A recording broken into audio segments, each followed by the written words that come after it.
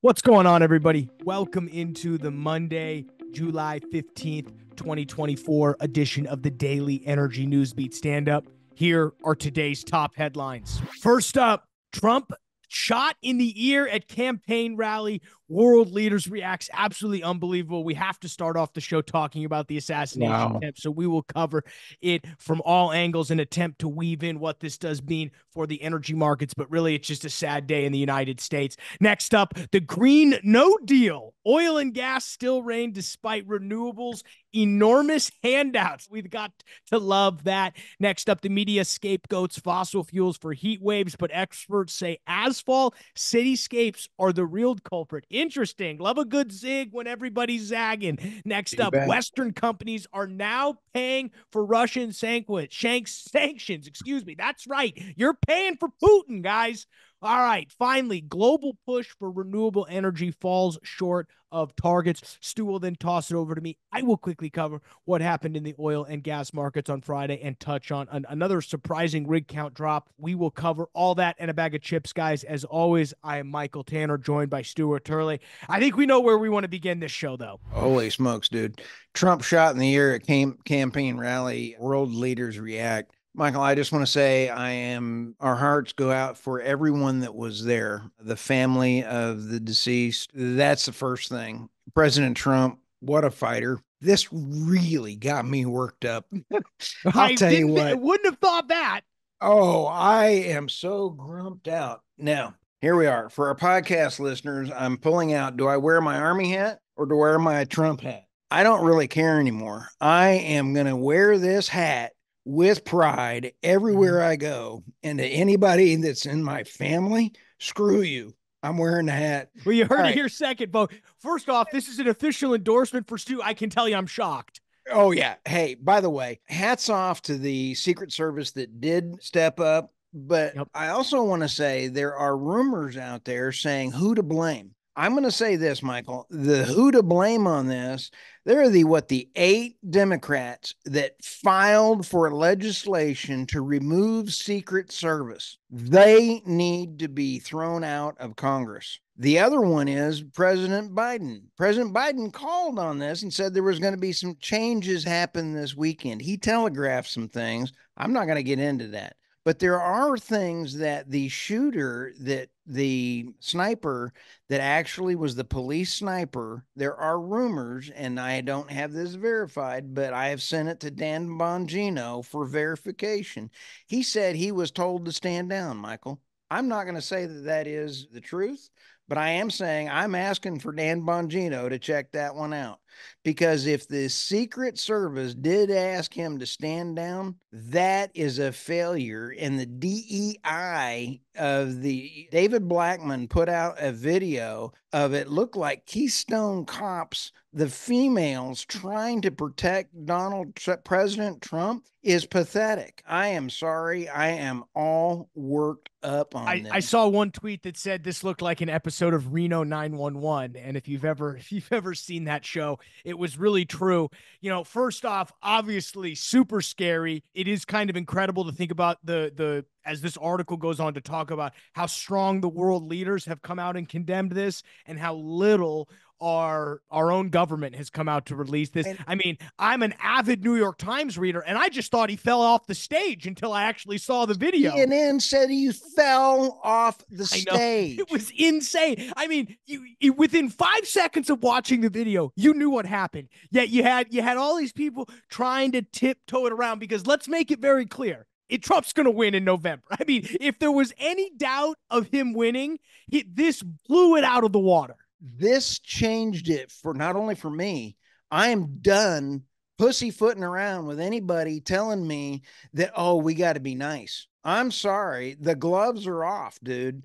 And this is now a battle for the survival. And do not kid yourself. The deep state, here's where I've been very vocal about this General Flynn, you are now needed as our vice president more than ever we need you to clear out the deep state for four years as VP and then eight years as president General Flynn, you have an open invitation on this podcast. And by the way, we need you to clear out the deep state. Well, and there really is no way to tie this into energy. So I think we'll ju- we'll just stop it here. I think it's a sad day for America. We decry any type of violence. So hopefully there's no retaliation. No. This should be a consolidation and a coming together. And obviously, I think in November it's going to be pretty clear what's going to happen. And we'll cover on down the line in the eventual victory about what this means for the oil and gas business. But exactly. for now, we just decry violence and we hope everybody can at least now Trump's okay, take a deep breath, and hopefully move on to to to, to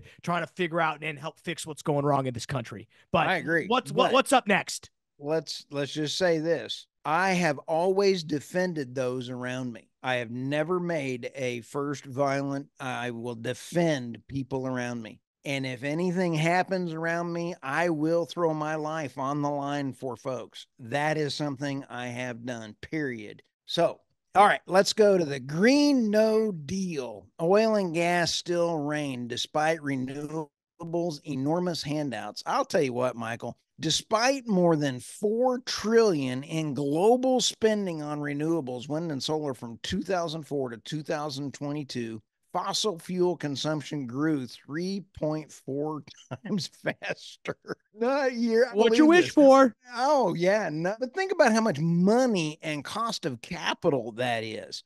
Not a year ago, the New York Times headlines read Clean energy future is arriving faster than you think. A decade earlier, Guardian said how wonderful low carbon future was just ahead if Britain would stop subsidizing coal and oil and gas industries by 4.2 billion a year. They get it confused, Michael. In every one of those stories that they were talking about, there's a difference between tax incentives and subsidies. They were calling tax incentives. I mean, there is a huge difference. Shocker that journalists can't aren't you know don't do enough research to understand the difference between subsidies and tax and and and tax incentives. You know, right? Color me shocked. Listen to this. And oil and gas and coal receive less than 15% of federal support, or not even a third of what was gifted to renewables. There is and that is a difference because that number is actually kind of wrong because it's a tax incentive. In order to get a tax incentive means you got to have profits i mean it, it is really unbelievable this next line overall global spending on green energy which includes nuclear and I, i'm okay with that and always should, will exceed $2 trillion, twice the 1 trillion in expenditures on fossil fuels. And I've heard that we need to spend 4 trillion just to meet decline curves for a stagnant demand curve, Michael. Yeah, I mean, we've been the first That's ones that I've been prices for oil coming. I'm with you. I've been the first one to call out the tremendous amount of negligent spending that's happened in the oil and gas business. Trust me, I've seen money spent on projects that have no need to be spent on. But that doesn't mean that we shouldn't. You, you are absolutely right because of the declining nature. I mean, they're called decline curves for a reason because they exponentially decline. You have to put, pump money into this. The fact that we're going to, we're spending over a hundred percent more on renewables than we are fossil fuels is just absolutely incredible and really tells you where the subsidies are. Right. This, that stat right there really tells you where the subsidies are because it, if there were more subsidies in fossil fuels, Trust me, these green energy people would be dumping it all into fossil fuels. Trust me. Well, the AI has now squirreled this out and really and kind of ruined it for everything because now the big tech is needing a lot of energy. And in the article by Robert Bryce, he says uh, gas fired power generation grew 9.5 times faster than wind and solar combined. Yeah. Wow. Crazy. All right, what's next? Let's go to media scapegoat fossil fuel for heat waves. But experts say asphalt cityscapes are the real culprit. Go figure this one out. Heat waves bring a barrage of dramatic reports. Commercial pizza ovens are closer to a thousand degrees, and home baked pizza ovens are cooked between 425 and 500. But they're saying that it's comparable to a pizza oven. I'm going to call We're yeah. living in a dangerous new era of more frequent, destructive, and deadlier disaster fueled by humanity's continuing spewing of greenhouse gas pollution, the Times reported. I'm going to disagree. Heat flux is a fancy scientific word for heat. It includes the heat narrative off pavement, as well as heat from air conditioning, air conditioners, and cool space by moving heat, which is then rejected out. I mean, think about it. Pavement you ever try to walk across the, the pavement? Well, it's it's black, and this is interesting. So Chris Martz, he's an at- atmospheric science senior at Miller's. So I mean, th- now we've got we've got people in college now who are making more sense than the experts. You've got people in college making more sense than the experts. He compiled data from the Global Historical Climatology, or no, he told the Global Global Historical Climatology Network Daily that he compiled data from five stations around the DC metro area which have spring average temperatures going back to 1893. The data, according to a college, someone in college, found that there is no warming trend since at least 1921 in the rural and suburban areas surrounding DC. Right. But in in in the there's a 12% rise in urban areas. Right. You know why? because where the sensors are located, they build up around sensors and then they don't bother to go change them out and do that. There's a whole nother set of articles and everything else about urban heat and how they're me- measuring it, Michael. It's unbelievable. Well, there's this other quote here. I'm trying to find the guy's name. Dr. Alec Feinberg. He's a climate scientist. Scientist. Listen to this. This is one of his quotes. Do, do, do, do, Where is it? If the roads were concrete, we would have about 5.5 percent less global warming. So, in other words, we can make them more reflective because concrete is about four to five times brighter. But how much more concrete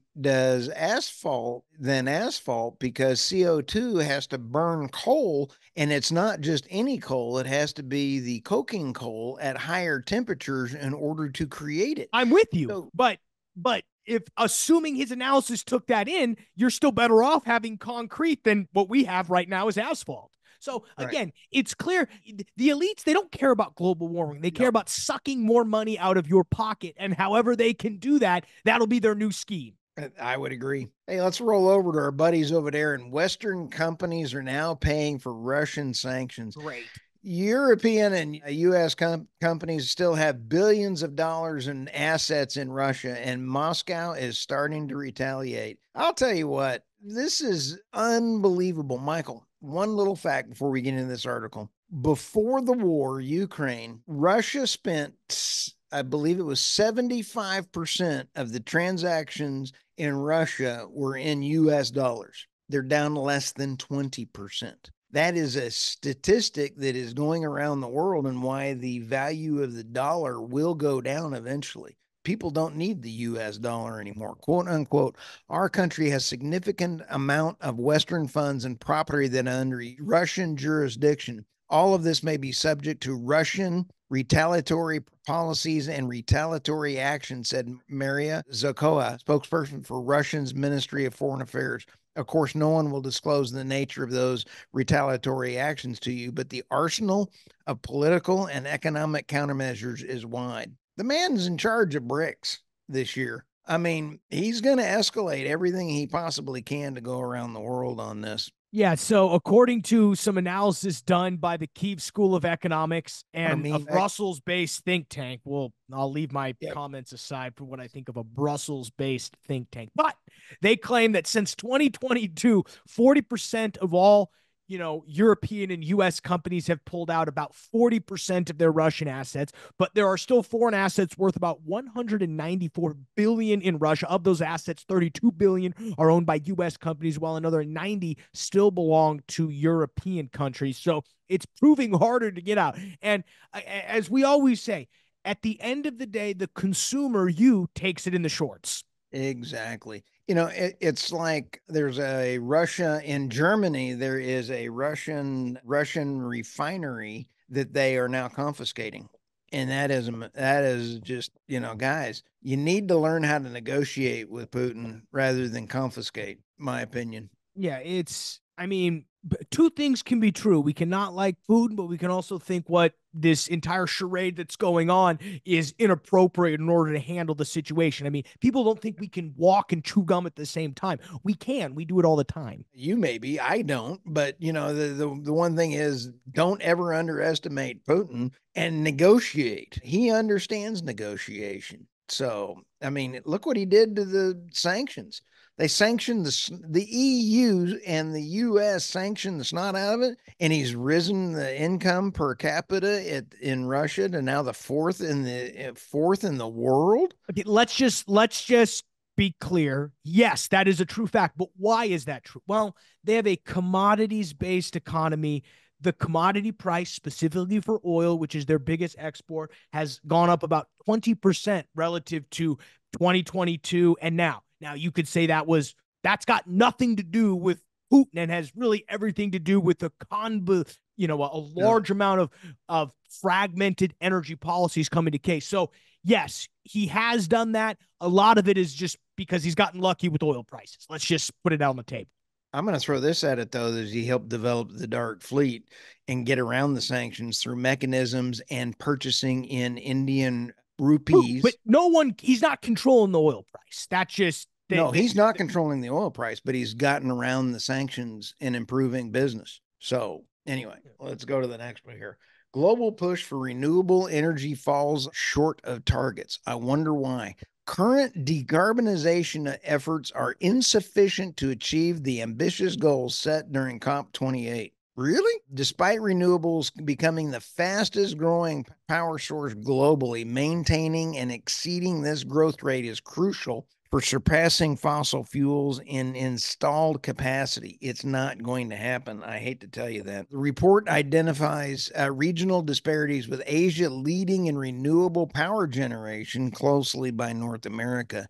Renewable capacity at the end of 2023 accounted for 3.9 terawatts or 43% of the global capacity, making a significant 14% increase from 2022 in establishing a compound annual growth of 10% from 2017 to 2023. Where these numbers do not take into consideration, Michael, is the fact that you they're not counting for the standby power that has to the dispatchable power like in new natural gas and in coal plants that they either have to leave on or add in to support it. So these numbers are not actual. Yeah i mean it the targets that people set and that were set during COP 28, it doesn't take a genius. We don't need another study. We might need another college student to tell us, hey, I don't think we're going to be able to meet this. I like this one. COP President Dr. Sultan Al Jaber. Today's report is a wake up call for the entire world while we are making progress. We're off track to meet the global goal of tipping renewable energies capacity to 11.2 terawatts by 2030. I can't see it happening, dude. Yeah, I mean, you there there's a lot we could say but if you thought this hey we're going to be net zero by 2030 was actually going to happen i mean i've here i've got i've got some investments i'd like to sell you trust me yeah i had a joke but i'll leave that alone Look at the restraint being held by Stu, because who knows what that could have been. We would have cut it if it was bad, but we were able to catch it in real time. Let's go ahead and jump over and cover oil prices before we do that, guys. As always, we got to pay the bills around here. Uh, thanks for checking us out. w.energynewsbeat.com, the best place for all your energy and, and oil and gas news. All of the news and quote unquote analysis that you just heard is brought to you by said website. Stu and the team do a tremendous job making sure that website stays up to speed. Everything you need to know to be the tip of the spear when it comes to the energy and the oil and gas business. Hit that description below for all of the links to the articles, timestamps, so you can jump around and, and, and go back and hear what we had to talk about the Green New Deal, jump up and talk about where rig counts are going to go, anywhere you need to go. You can also hit us up, the energynewsbeat.substack.com, where you can check out all of the articles that we're going to cover. We obviously record this uh, the day before we release it. So you can, uh, if you subscribe to our Substack, which I highly recommend you do. You can get all of those articles before and get tomorrow's news today. But let's go ahead and jump in here, Stu. You know, markets on Friday actually, you know, didn't fare too well. I mean, they fared okay. We had a little bit of a tumble off on the end, but we did see overall saw S&P 500 was up about a half a percentage point. Same with the Nasdaq up about a little above a half a percentage point, 0.59 percentage points. Two-year yields tumble 1.3 percentage points. 10 years only down about a quarter or three quarters of a percentage point. Dollar index down about four tenths of a percentage point. We see Bitcoin now still under $60,000, but barely sitting at 59,984 for crude oil actually did tumble a little bit. It was down about a half a percentage points, 82.21, and does look to open here as we record this here on the 14th in the afternoon. Looks to open a little bit below that, but I have a feeling with with the events that took place, we are going to see a, a, slight overnight rise. So as you listen on a Monday, I I would wager to bet we're above that $82 mark, but but that will remain to be seen. Brent oil 85.35. It's only down about three about three tenths of a percentage point. Nat gas spikes a little bit after again what's coming a, a pretty uh, intense heat wave. Three dollars and thirty two cents. So still still down, but but up a little bit. All you nat gas bulls. You know we're, we're, we're trying over here. You know really what we're seeing is is you know investors are really weighing what we saw on Friday which was a lot of which was some pretty weak com- consumer sentiment data and the fact that there may or may not be more rate cuts coming. A monthly survey that was released by University of Michigan showed US consumer sentiment fell to an 8 month low in July although we did see the US Labor Department producer price index or the PPI rising by 0.2 percentage points in in June which was slightly more than expected as though the cost of services did climb, still we are hoping that the feds will come out and start cutting rates in December. Phil Flynn, an analyst over there at Price Futures Group, says the market isn't afraid of the Fed at this point. I'm still afraid though, so I don't know if the market is, but trust me, I'm still afraid. We have Yeap Jun Rong, a market strategist over at IG. Cooling U.S. inflation numbers may support the case for the Fed to kickstart its policy easing process earlier rather than later. It also adds a series of downside downside surprises in the U.S. economic data, which points to a clear weakening of the U U.S. economy. We also saw on Thursday and Wednesday, again, we saw EIA crude oil and natural gas storage inventory numbers. We did see that U.S. gasoline demand was up to 9.4 million barrels per day, which is the highest since 2019 for a week that includes Independence Day. Jet fuel demand was also on a four week average basis at the highest it was since January 2020. We also did see crude oil or rig counts drop by uh, Baker Hughes. If we can go ahead and put that image image up here. Week over week, we saw a, a drop of still one rig. So we're down to 584 rigs. That's still, that's also down 91 rigs from where we were in the week ending July 4th last year, uh, July 14th last year. Canada saw an increase of 14 rigs. So, hey, drill baby drill in Canada, we saw four rigs increase internationally, 557 internationally. And for Canada, you're up to 180 nine. So mixed bag in terms of that U.S. economic data. We again we saw a slight drop in oil prices, but I think things are muddying the water. You know, outside of that, we have we we had to delay the podcast with with our friend John Farrell to in terms of covering Devon Energy and swooping up Grayson Mills. So we're going to record that here on Wednesday, try to get that out that in the next week and a half. But I've been diving into all things that deal. Really interesting for Devon. I'll be honest. My initial reaction is still, I'm not sure if I like it from the standpoint of I, I just don't see the and I don't mean synergies. It just seems like Devon made a deal to make a deal. You know, you start diving into, you know, their acreage versus where Grayson Mill is. Devon is, you know, if you go read their Q1 earnings report, they talk zero right. about the Bakken, and now they go and buy a company that's solely based in the Bakken. It just it seems to me that they felt like they were the the last person at the table without food and just had to grab something and ended up with uh, and while I like Grayson Mill as a business, I think they've done an excellent job. They got a great you know, EnCap, you know, obviously does a great job of putting together these deals. You know, they seem to have come out okay. I like everybody at Grayson Mill, but just from a strategic standpoint on from Devon's side, really interesting. Wouldn't have thought that they were the buyer. I know that, you know, John and I were talking that, you know, we really thought the the, the new Chord Enerplus merger was lining up to buy them, and you might have saw another actual merger and not necessarily an acquisition, but Devon swoops in and buys them outright. So super interesting. Oh yeah, I, I can't wait to see it when you guys get actually get down to it. It, it, it takes a lot of work. I luckily we can just come on this podcast and riff a little bit. Got to do a little bit more research for those deal spotlight podcasts. So, what else you got, Stu? What should people be worried about this week? Well, hug your family. We just don't mm. know how quickly things can change for us. And I know for one, I will be very vigilant as things go for forward. Yeah, keep uh keep enough gas in your tank to be able to make it up to the bunker. Trust Absolutely. Me. So, all right, guys. Well, we hope you had a great weekend. Stay safe out there. For Stuart Turley, I'm Michael Tanner. We'll let you get out of here, get back to work. Thanks for checking us out. World's greatest podcast. Check us out, www.energynewsbeat.com. We'll see you tomorrow.